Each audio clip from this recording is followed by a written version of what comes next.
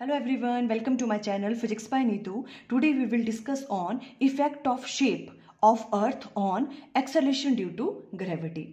Means अर्थ की shape की वजह से एक्सेलेशन ड्यू टू ग्रेविटी किस तरह से चेंज करती है देखो हमें पता है जो अर्थ है वो परफेक्टली सफेरिकल तो नहीं है है ना हम उसको ऐसे कंसिडर कर लेते हैं बट बेसिकली जो अर्थ है वो किस शेप की है इलिप्टिकल शेप की है इस तरह से है ना? तो मान लो ये आपके पास अर्थ है इलिप्टिकल शेप की, है ना? तो अब देखते हैं यहाँ पे एक्सेलेशन ड्यू टू ग्रेविटी किस किस तरह से वेरी करेगी इक्वेटर एंड पोल्स पे। देखो, ये जो होती हैं ये वाले, ये क्या है आपके पास? इक्वेटर है ना?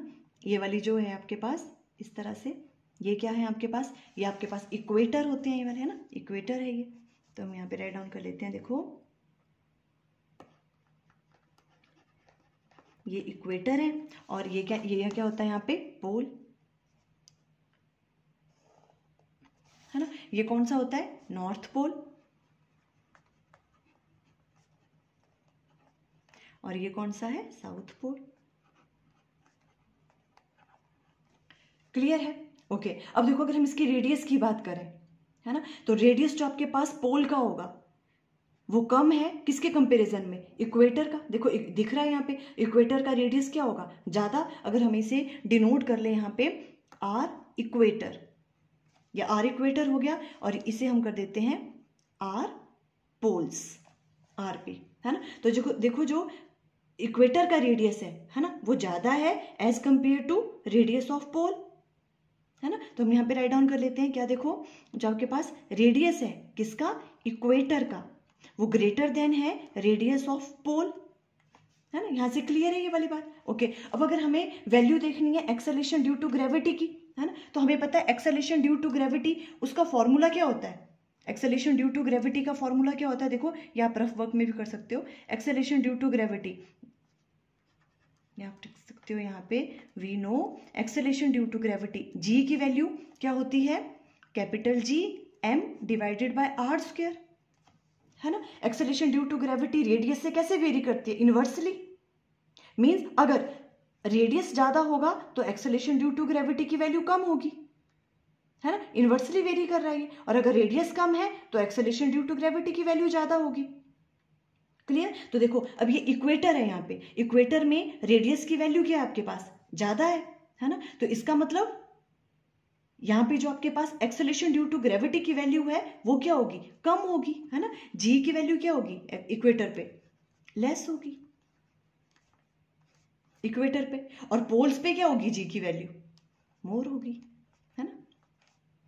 यहाँ पे ज़्यादा होगी बिकॉज़ इसका रेडियस क्या है? इसका रेडियस पोल्स का कम है तो एक्सेलेशन ड्यू टू ग्रेविटी की वैल्यू क्या होगी? यहाँ ज़्यादा और इक्वेटर पे कम होगी, है ना? अब यहाँ भी राइट डाउन कर सकते हो, देखो इक्वेटर का रेडियस क्या है?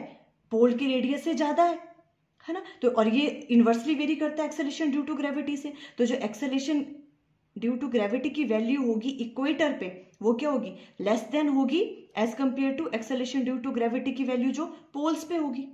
इस तरह से आप राइट डाउन कर सकते हो। कई बार शॉर्ट क्वेश्चन में आ सकता है कि कहाँ पे एक्सेलेशन ड्यू टू ग्रेविटी की वैल्यू ज़्यादा होगी और कहाँ पे कम होगी।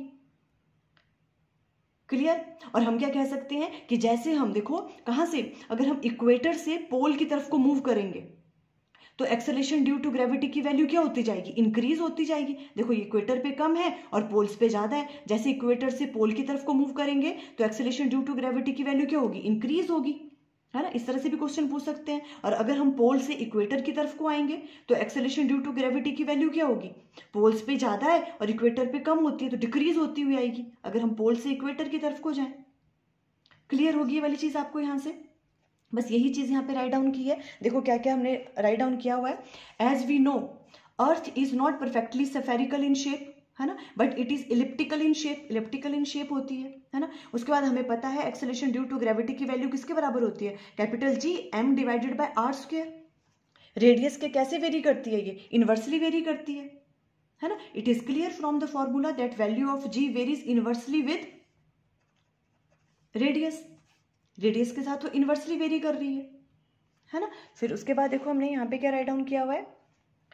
The equator radius is greater than polar radius equator का रेडियस ज़्यादा है किसके?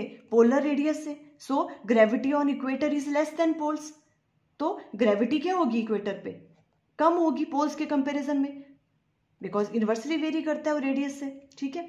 As we move from equator to poles equator से अगर हम पोल्स की तरफ़ को मूव करेंगे तो ग्रेविटी की वैल्यू क्या होगी? इंक्रीज बिकॉज़ यहाँ कम है, यहाँ ज़्यादा है. As we move from equator to poles gravity increases gravity increase होती रहेगी. And as we move from poles to equator अगर पोल से लेके इक्वेटर तक मूव कर रहे हो आप, है ना? तो पोल्स पे जी की वैल्यू ज़्यादा है इक्वेटर पे कम है. तो एक्सेलेशन ड्यू टू ग्रेविटी की वैल्यू क्या होगी? डिक्रीज होगी. है ना? यही चीज़ राइट डाउन दिखिए देखो. As we move from poles to equator pole से इक्वेटर की तरफ़ को मूव करेंगे.